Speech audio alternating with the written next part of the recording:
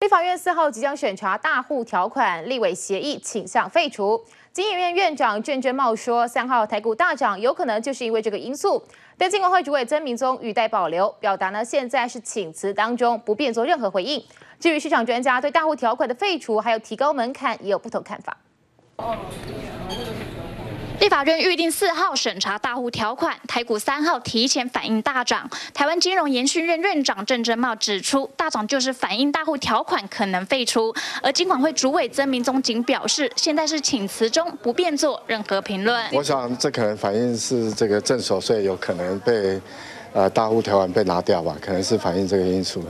对，那其实欧美也表现不错。今天股市涨了一百四十点，成交量放大到一千一百四十四亿，啊，是一个正常的反应情况。因为前两天跌了，那尤其外资外资持续汇入，目前我是请辞待命啊，对重大的政策不合适表示意见。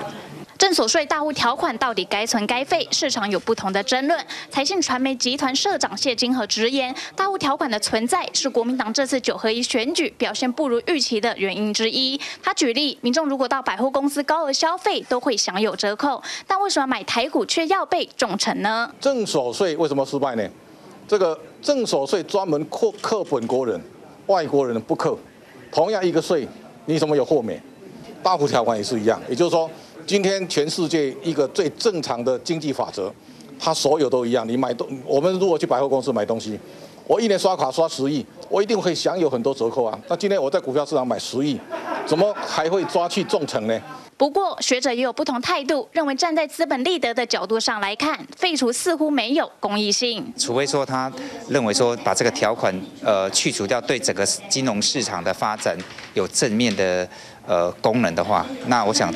在在政策上就可以讨论，但如果纯粹就呃从资本利的应该课税的角度来讲，我是觉得说它好像没有什么必要性跟公益性。面对大户条款，各界有不同的声音，立法院也即将进行审查，最快明天有明朗的结果。UDN TV 李梦山、肖伯清台北报道。